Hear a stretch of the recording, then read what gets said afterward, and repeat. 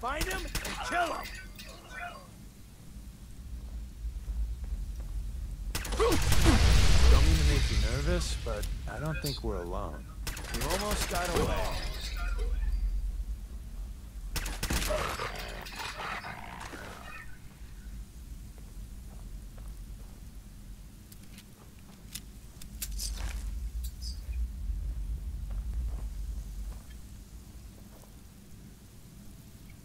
Oh, the dog can wear a bandana?